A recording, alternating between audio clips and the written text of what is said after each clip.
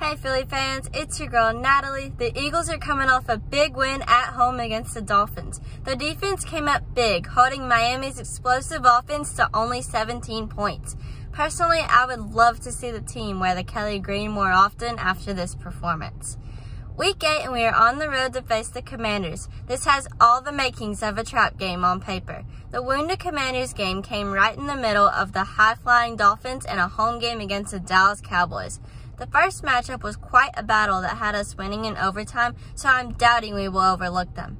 I believe our defense will come up big again. Even though Hurts is dealing with a knee injury, I believe he will get the job done with some big plays to AJ and Smith.